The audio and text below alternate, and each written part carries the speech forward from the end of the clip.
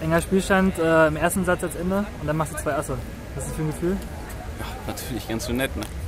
Also äh, sind halt spielentscheidend und gerade in solchen Situationen versucht man fokussiert zu sein, ist vielleicht noch ein Prozent mehr aktiviert und äh, dann entsteht halt vielleicht mal ein Ass, ne, wenn man mutig ist. Und so eine Spielstände, so ab 2020, was geht da so bei dir vor? Ja, ich versuche halt immer ruhig zu bleiben. Dann, äh, man ist ein bisschen angespannter vielleicht. Äh, versucht das mit so einer mit ruhigem Atmen oder mit, mit verschiedenen Techniken runter zu, runterzubringen. Und äh, in dem Moment entsteht halt so ein Flow-Zustand oft. Und gerade bei solchen Spielständen, äh, weiß ich nicht, das, das mag ich ganz gerne eigentlich. Ne? Dann macht Volleyball erst richtig Spaß. Ne?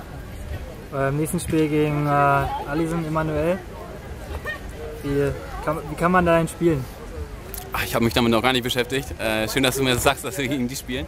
Ähm, ja, ich freue mich aufs Spiel. Also wir wollen genau, wir, wir, kennen solche Gegner und haben gegen solche Gegner auch schon mal gewonnen und äh, wollen natürlich auch morgen gewinnen. Äh, ist natürlich umso schöner, dass Alison und Emanuel sind. Und äh, ja, ich freue mich drauf. Ne?